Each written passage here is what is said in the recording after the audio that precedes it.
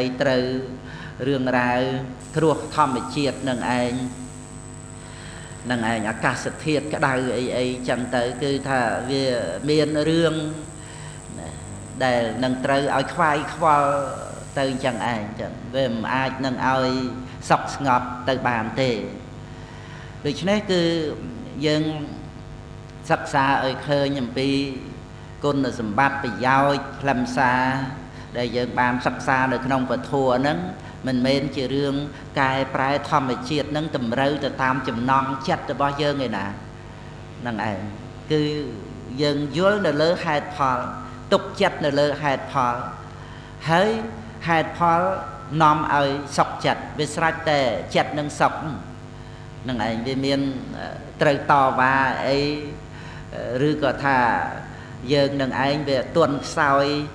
យើងនឹងវាអន់ណាស់មិនចេះកែប្រែរៀបចំលោកនេះដើម្បីរស់នៅសនុកសុខស្រួលអីអីវាវាអត់មានរឿងអន់ទេនឹងឯងពីព្រោះជាការឈ្នះនៅលោកនេះត្រង់ដែលមិនកើតទុកនឹងឯងចឹងនឹងឯងលោកនឹងប្រព្រឹត្តទៅជាធម្មតាមានឈ្នះមានចាញ់អីទៀតឧបសន្តោសុខੰសេតិហេថ្វាជាយៈបរាជាយ៉ាងព្រះអរហន្ត ស្រេចតែលោកស្ងប់រងាប់ចិត្តលោកអត់មានរឿងប្រឡងប្រជែងជាមួយនឹងលោកនេះអត់មានឈ្នះអត់មានចាញ់អីទេវាអត់មានខ្លួនលោកនេះប្រកួតប្រជែងឯណាជាយ៉ាងវេរាំងប្រសវតិអ្នកឈ្នះតែងជួបប្រទេសនៅពីទុក្ខੰសេតិបរាជិតោអ្នកដែលចាញ់រមែងដេកជាទុក្ខមិនមិនចំពោះទៅរឿង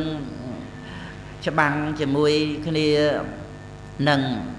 មនុស្សម្នាអីផងគ្នាខ្មាំងសត្រូវអីទេជាមួយនឹងធម្មជាតិហ្នឹងក៏ដែរចឹងព្រឹត្តទៅយកឈ្នះយកចាញ់ហ្នឹងក៏ប៉ុន្តែដែលបុគ្គលដែលព្រះអង្គសម្ដែងថាជាអ្នកដែលស្ងប់ទុកហើយនោះឧបសន្តោសុខੰសេតិគឺថារមែងនៅជាសុខ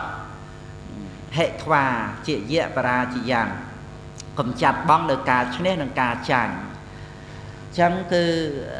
ចំពោះការដែលពុទ្ធបរិស័ទចូលមកសិក្សាការពិតនឹងកុំឲ្យនៅក្នុងគំនិតថាក្រែងលោចាញ់ព្រៀបណាណាអីចឹងទៅណាអានឹងមកអំពីមិនតាន់ចូលដល់ការពិតទេចឹងដល់ទៅចូលដល់ការ